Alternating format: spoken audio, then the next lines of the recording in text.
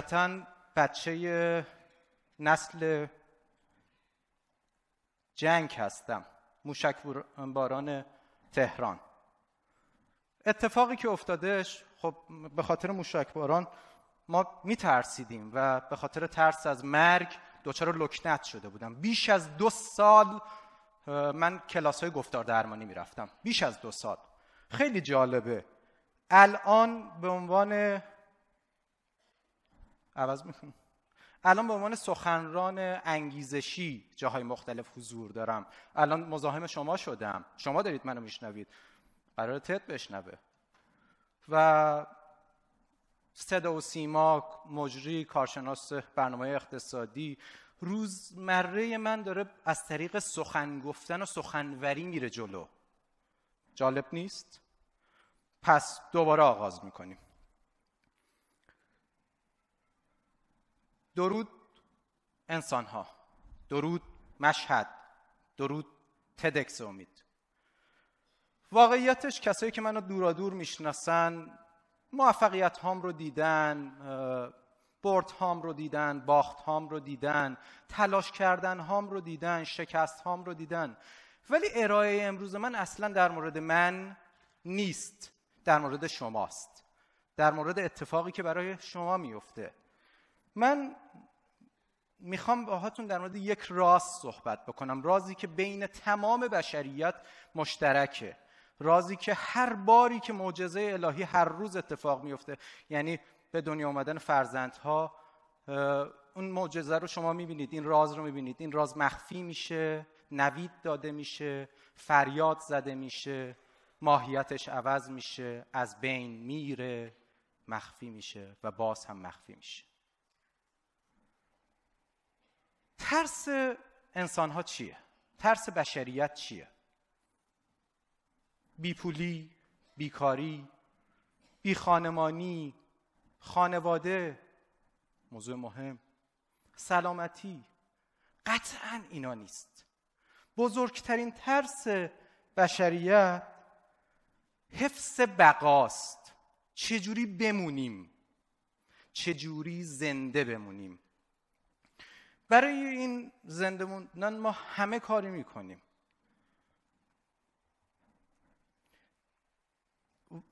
اگر ما این رو می‌دونیم چرا زمانی که پدر مادرها سفارش میدن به لک لک ها که براشون بچه درست بکنه و براشون بیاره option های درخواستی خودشون رو سفارش میدن. رویاهای خودشون رو می‌ذارن داخلش. مگه در میان 13 میلیون اسپرمی که نطفه تشکیل میشه اون نتونسته رویاش پیدا بکنه و تصمیم بگیره وارد این دنیا بشه. بدون اینکه ما بهش آموزش بدیم بدون اینکه بگیم چی می‌خوایم چجوری باشه تحمیل بکنیم رویاهامون رو.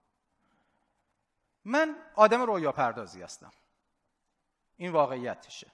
یعنی تمام موفقیت هام و عدم موفقیت هام بر مبنای این ولوم بوده. زیاد یا کم؟ رویا پردازی زیاد رویا پردازی کم. تمام شاهان پادشاهان از روزی که حضرت آدم و سیب رو کند همشون با همین بازی تونستن موفق بشن. فرقی نمی‌کنه حضرت آدم باشی مارتین لوتر کینگ باشی مبارز باشی ماندلا باشی گاندی باشی. با چه رویایی؟ با رویای استقلال؟ حافظ شیرازی چرا مثال بیرونی بزنیم؟ یک رویایی داره و برای رسیدن به رویاش تلاش می‌کنه. بیایم از مثال بعد بزنیم. چنگیزخان مغول. این مرد واقعا فوق است. بزرگترین رویا پردازه بدنامترین فرد تاریخ بیشترین ژن خوب رو داره تو دنیا. یعنی کل دنیا رو بگردید بیشترین ژنی که بشریت می‌شناسید برای چنگیزخان مغوله.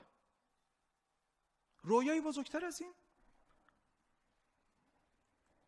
هیتلر رویای ژن خوب جنگ جهانی. اسکندر مقدونی حسرت حسادت. میاد بزرگترین امپراتوری رو از بین می‌بره. بزرگترین امپراتوری طول تاریخ. کوروش بزرگ چه رویایی داشت؟ حقوق بشر آزادی. چه کشوری ساخت؟ واقعیتش این هستش که همه این آدمایی که گفتم و میلیون ها نفر دیگه که شما می‌شناسید و بعد از ما میان یک راه موفقیت داشتن. خواهی نشوی همرنگ رسوای جماعت شد خواهی نشوی همرنگ رسوای جماعت شد رابطه رسوایی و رویا پردازی بسیار نزدیکه بسیار نزدیکه. یعنی هر جایی که ما یک رویا داریم همه ما رو مسخره می‌کنن و یک رسوایی بپاشه من خودم گفتم آدم رویا پردازی هستم.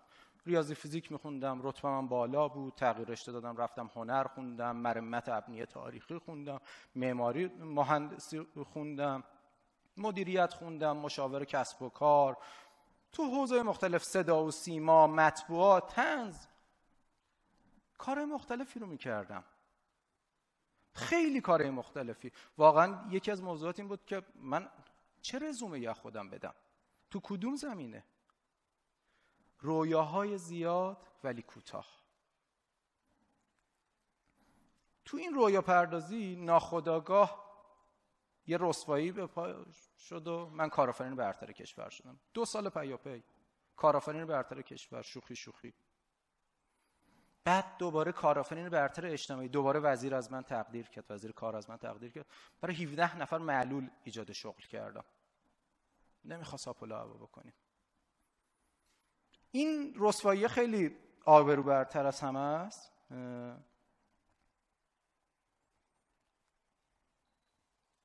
من بدون اینکه تو زندگی شخصیم پدر بشم و مادر صنعت فرانچایز رو ملاقات بکنم هنوزم ملاقات نکردم تو 27 سالگی شدم پدر صنعت فرانچایز پدر علم اعطای نمایندگی تو ایران. دانش. با بیش از 100 تا برند و کسب و کار زنجیره‌ای کار کردم. رستوران فست فود شیرینی فروشی زنجیره‌ای. لوازم یدکی خودروی زنجیره‌ای کارواش زنجیره‌ای. با بیش از 100 تا. بدون اینکه حتی یک ریال خودم هزینه بکنم. حتی یه شعبه افتتاح بکنم. ولی دغدغه من بیشتر در حوزه مخابرات بود در حوزه آیتی بود. خب بخشی از معرفی رو هم گفتن. همیشه تو حوزه در واقع سیستم های پرداخت فینتک ها حتی دنیای متوهم استارتاپ ها اکوسیستم استارتاپ های متوهم یا کاری نداریم متوهمی تو این حوزه هم کار کردم. با همون رویا. واقعیتش این هست بشر به هیچ عنوان ال... یعنی الان قدرتمندترین زمان تاریخه. ما هیچ موقع انسان ها قدرتمندتر از این نبودیم. با فناوری های بلاکچین با ارز دیجیتال با پلتفرم های اجتماعی با شبکه های اجتماعی صدای مردم شنیده میشه. صدای مردم شنیده میشه. و قدرت تغییر دادن. این جذابه و رویاهاشون رو می‌تونن به حقیقت بپیوندن. من می‌خوام شما رو به چالش دعوت بکنم. واقعیتش دنبال 80 میلیون ایرانی شریک جرم میگردم. ما اگر تمام پیشرفت های دنیا رو نگاه بکنیم انقلاب ها رویدادهای بزرگ از راه شاهی دوران هخامنشی گرفته تا انقلاب کبیر فرانسه راه ابریشم قدیم راه ابریشم جدید زمانی که ساکنین قاره جدید تصمیم می‌گیرن که در واقع ساحل شرقی رو به ساحل غربی بزنن. راه آهن سراسری شمال جنوب. همشون با راهسازی بودن. امروز وقت راهسازی نیست. امروز قدرت اینه. قدرت شبکه های اجتماعیه. قدرت تو دستان شماست. من رویای این رو دارم که با همدیگه دعوت می‌کنم شما رو به رویای ایجاد امپراتوری دیجیتالی پارس. خیلی سریع می‌تونیم فاصلمون رو با دنیا کم بکنیم. خیلی سریع. من به مشکلاتش کار ندارم. کسایی که رویا پردازن به مشکلاتش نگاه نمی‌کنن به رویاشون نگاه می‌کنن. وقتی که شما در سطح ملی صحبت می‌کنی خب ناخودآگاه میگن آقا تو کی هستی؟ اصلا جایگاهت چیه که می‌خوای در سطح ملی صحبت بکنی؟ من احساس می‌کردم ایرانی‌ها به خاطر اینکه رویای مشترک ندارن پیشرفت نمی‌کنن. به نظرتون رویا اول ایرانیا چیه؟ خیلی مسخره است نتیجه. رویای اول ایرانی این هستش که برگردن به دوران شکوه اقتصادی ایران. تو چه مقطع تاریخی و سیاسی هست من کاری ندارم. رویای دوم ایرانی این هستش که برن به یک کشور دیگه مهاجرت کنن و رویای اون کشور رو درست کنن به جای که رویای اینجا رو درست بکنن. رویای سومی مسخره تر از همه ایناست. برگردیم به 2500 سال پیش و امپراتوری هخامنشی رو احیا کنیم. این کجاش رویاست؟ کجاش ایرانه؟ ما اومدیم با کارشناسا یه رویایی درست کردیم به مثال غربیش تر غنی تر و کاملتر رویای این ما ایران رو سرزمین برترین ها آزادی ها و دادگری ها کنیم. خب سیستم سیستم قشنگی بود دیگه. ولی خب من گفتم خب یه ذره اشلم رو ببرم بالا. من همیشه دغدغه مذهب داشتم. بچه مسلمونم شیعم. 250 میلیون جمعیت شیعه است. پا میشن 40 میرن. 25 میلیون نفر میرن. 10 درصد کل جمعیت یه دفعه پا میشن میرن 40 خب چرا ما برای اونا رویا نداریم؟ زبان پارسی. زبان پارسی 29 تو 29 کشور دنیا صحبت میشه. ششمین زبان مصطلح دنیا. از ده تا در واقع شاعر برتر دنیا پنج تاشون فارسی زبانن. خیلیه. و دومین زبان کلاسیک دنیا. 300 میلیون جمعیت افغانستان تاجیکستان ایران. خب چرا ما برای اونا رویا نداریم؟ کشورهای عربی. یه ذره بزرگ کنیم عدد رو. قرابت فرهنگی داریم دوستی داریم. هر چیزی. من نمی‌خوام در مورد سیاست صحبت بکنم. من در مورد رویاها دارم صحبت بکنم. 350 میلیون جمعیت. چرا برای اینا رویایی نداریم؟ چرا کاری ما نکردیم براشون؟ یه ذره بزرگتر. 400 میلیون جمعیت حوزه نوروز 18 تا کشور. خب چرا برای اونا کاری نکردیم؟ چرا رویای مشترکی نداریم بین این جمعیت؟ این آمار خیلی جالبه. برای جهان اسلام سال 2009 سالهاست جمعیت جهان اسلام اعلام نمیشه. و خیلی مسخره است. من یه تحقیق میخوندم که تا سال 2050 جمعیت مسلمون ها میشه اکثریت دینی جهان. یعنی بین سویچ میشه بین اسلام و مسیحیت.